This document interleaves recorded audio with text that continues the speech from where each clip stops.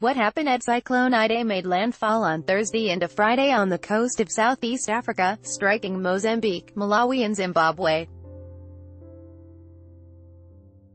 Like hurricanes and typhoons, a cyclone is a low-pressure circular storm system with winds greater than 74 miles per hour, each termed according to where it forms. Verhoosel said that some Aid workers were sent to Mozambique before the storm landed to prepare, to help assess the damage, and that it quickly became clear that they would need more help. The rainfall caused rivers to burst over their banks and submerged city streets and homes. Soldiers and paramedics carry injured survivors from a helicopter in Chimanimani, about 600 kilometers southeast of Harare, Zimbabwe, on Tuesday. Credit. APE In addition to the 1.7 million people potentially affected in Mozambique, the World Food Programme estimated that 920,000 people were affected in Malawi and 15,000 in Zimbabwe. Because of the flooding, most roads and bridges are closed, and many regions have no power. Shutting down communications and airports that could be used to bring in supplies and evacuate people. Verhoosel said that people were stranded on rooftops and climbing into trees to escape the water, and were without food, safe water or medicine.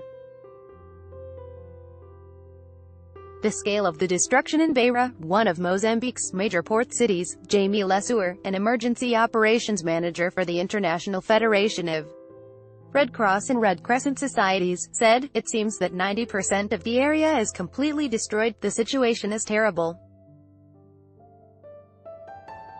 The scale of devastation is enormous, he said in a statement on Monday. Communication lines have been completely cut, and roads have been destroyed. Some affected communities are not accessible. Floodwaters cover large tracts of land in Nicoadala, Zambezia, in Mozambique. Rapidly rising floodwaters have created an inland ocean in the country. Credit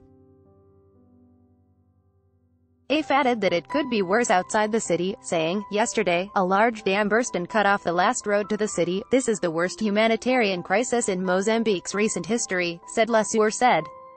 Aerial assessment of the Buzi Valley, west of Beira and along the Buzi River, showed entire villages wiped out, the World Food Programme said in a statement. At a news conference on Tuesday, local time, Matthew Cochrane, a spokesman for the IFRC, said that Flooding could be as deep as 6 meters, covering roofs, palm trees and telephone poles. Verhoosel said the death toll in Mozambique was expected to climb into the hundreds. President Filipe Nyusi of Mozambique reportedly said the death toll could surpass 1,000. If these reports, these fears, are realized, then we can say that this is one of the worst weather-related disasters, tropical cyclone-related disasters, in the southern hemisphere, said Clare Nullis, a spokeswoman for the World Meteorological Organization, citing the president's figure. What's being done so far, boats and helicopters have been the primary method of rescuing people and distributing aid, Verhoosel said.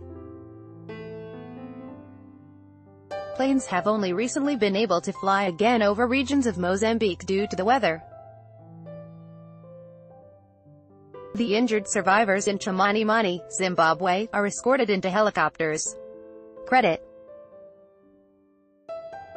AFE said at a news conference on Tuesday that the pilots had been, incredible, flying into airports, damaged by the water, dark with no light or radio communication with the control tower. The first cargo plane had arrived with 20 tons of food this weekend, he said, but that's not enough, we need much, much more.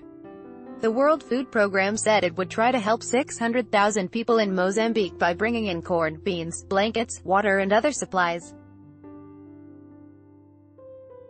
Agency's warehouse in Beira was itself badly damaged, but some food survived, and the agency is sheltering people at 18 schools and churches across the city. Christian Lindmeier, a spokesman for the World Health Organization, said the agency was trying to distribute emergency health kits and cholera kits. The New York Times, Apex Extreme Weather Zimbabwe Tragedy